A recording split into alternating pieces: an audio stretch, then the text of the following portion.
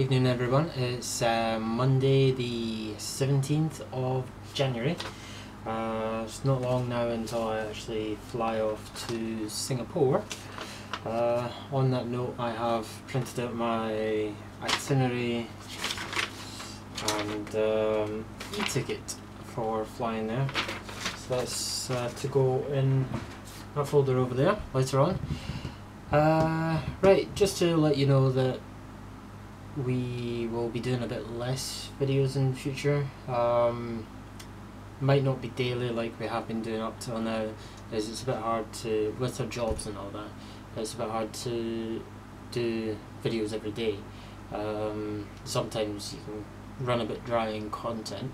Uh, so we're not sure what the plan is or if there is going to be any plan or just some days there might not be a video.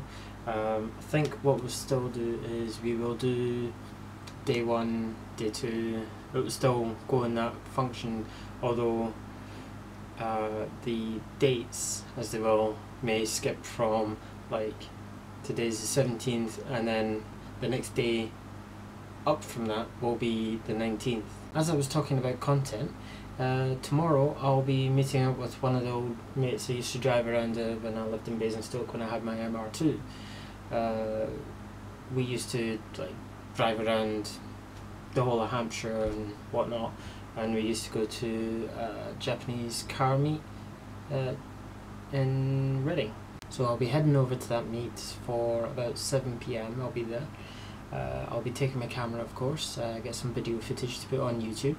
Uh, will all be Japanese cars, so don't expect any chavvy vehicles like uh, Vauxhall Novas and Vauxhall Corsas and all the likes, but although you do get the occasional little chav popping through and going but whatever, um, we'll see how it goes, hopefully it should be an alright night because I've not been for a good couple of years possibly. So looking forward to it and uh, get to see his new car again. So speak to you tomorrow.